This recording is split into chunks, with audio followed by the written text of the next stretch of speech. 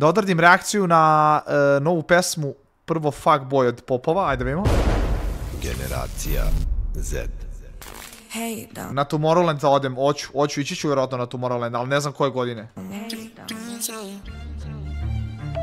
Brate, jesi realna? Nećeš valjda s njim da blejiš? Svi znamo da lik samo hoće da ti je Izjebe. fuckboy.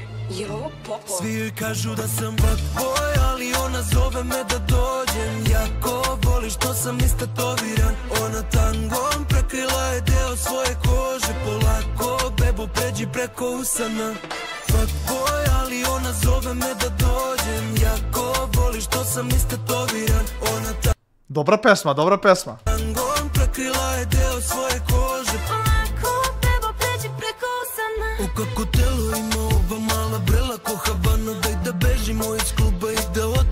stana. Sada moja ruka lagano klizi po njoj. Kako sutra da se javim bebo ne znam ti ni broj. Ona cela gori dok se ljubimo po vratu. Ne mogu da vide nas na zatamljenom staklu Prvo nešto da se smrvi pa da pređemo na nas tu Gledaj kako grmi ova mala je u gasu.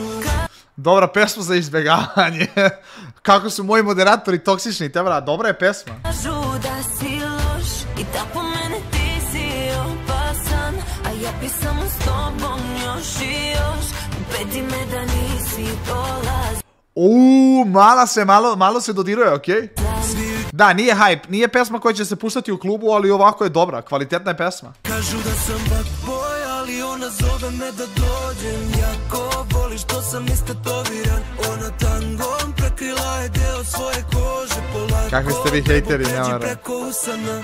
Fuck boy, ona kaže, zove me da dođem. Jako voli što